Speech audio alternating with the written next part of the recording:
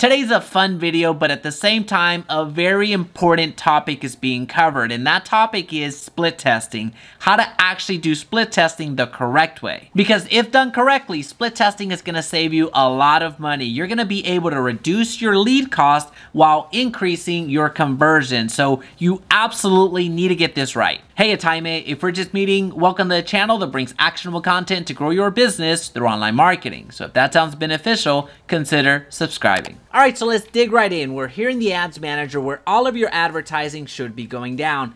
And in order to get here, all you have to do is log into Facebook, go to the very top right where it has a drop down black arrow, click on that and go to manage ads and you're gonna end up right here. So all you have to do is go right here to the ads manager and you are here. Now let's talk about split testing. Split testing is so important for your business because it will help you scale, it will help you grow and reduce your lead cost altogether. So that is super important. And we're going to dive right into it. The one element that you absolutely need to get right is split testing one variable at a time. Not two, not three, not four. Split testing one variable because if you change more than one variable, at one time, you're not going to know what worked or what didn't work. So let's just say you split tested the image, the placements, the ad copy and everything and then it suddenly works. Fantastic but you're not going to be able to replicate it. You're not going to know if it was the placement. You don't know if it was the ad copy. You don't know if it was the image. So split test one variable at a time you're going to see some great results. So with that being said the question becomes how do i actually split test?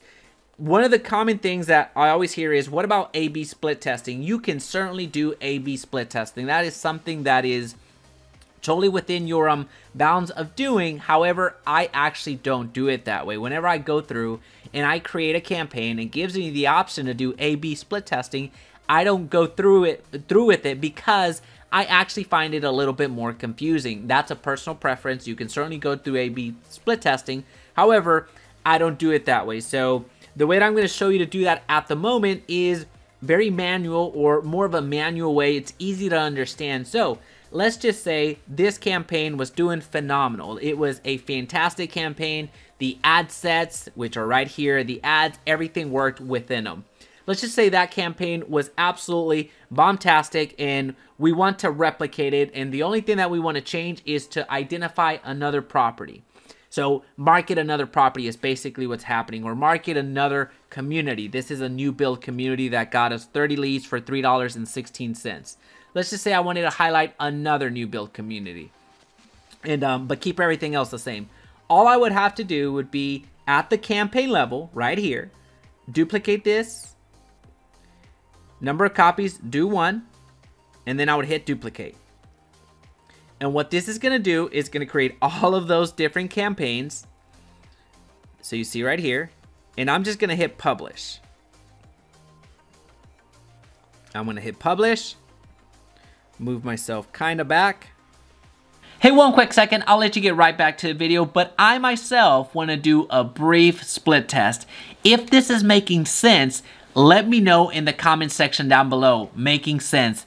If this is not making sense, then just smash like anyway. And we're gonna give it a couple more seconds. There's a few, there's nine, nine total campaigns or nine total ad sets that, uh, that are being published. So I'm gonna X out of here. All right, so what did we just do? We just duplicated this entire campaign. So when we click through here, we're gonna see four different ad sets. And when we go even further, it's taking a little while to get the, the ad copies to duplicate. But here in a little bit, this will populate. So you just copied everything here. You just copied your entire campaign. And assuming you just wanted to highlight another new build community, all you would have to do is go in here and edit them. Edit every single image, edit the ad copy, and you're off and running. So again, this is completely overhauling your entire campaign. That is how you split, well, that is how you do another, that's how you do another ad copy, if you will, or ad campaign. But let's just go into the split testing. Let's just say you wanted to split test interest. All you have to do is here at the ad set level, which we're in the copy version that we just created. Let's just say we wanted to split test Z Zillow. Well, we already have that. Let's just duplicate this right here.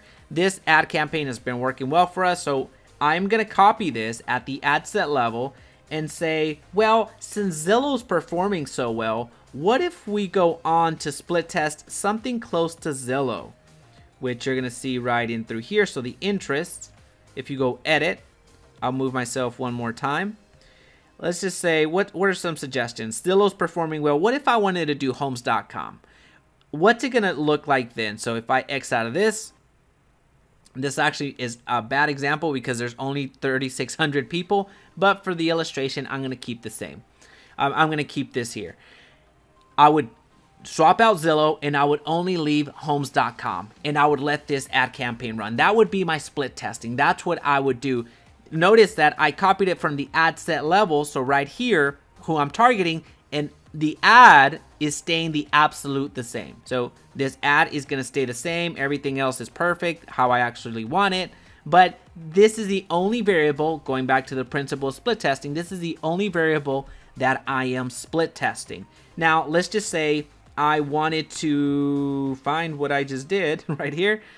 Let's just say, all right, that was a perfect experiment. Now, I want to test, let's just say homes.com ended up being a success, which based off of the potential reach, I find it hard to believe.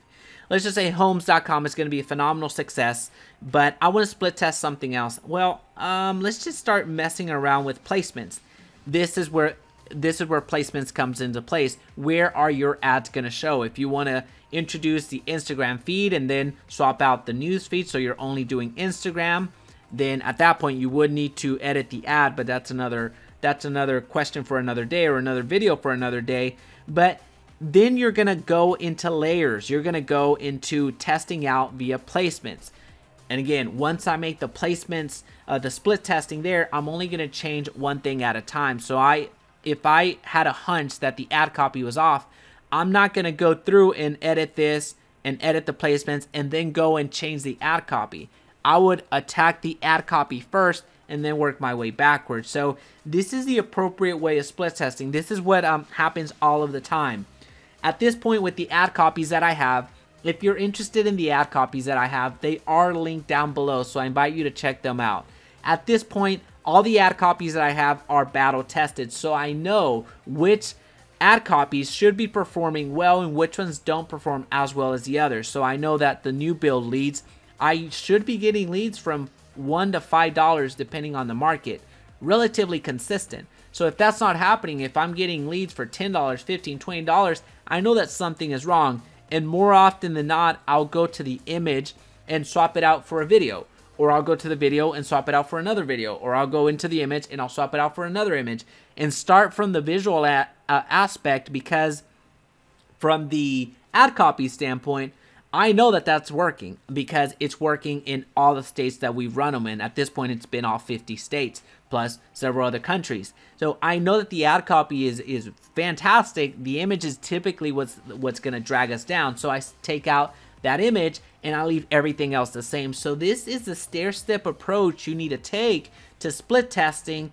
It's not glamorous, it's not sexy, but it needs to be done. Well, now that you know more about split testing, it's time to get the perfect ad copy that's gonna get you a lot of leads. So I'll leave a video right here that's gonna help you do that. Also, if you found value today, please be sure to subscribe and turn on that notification bell so you don't miss another video. And of course, make it your best day yet.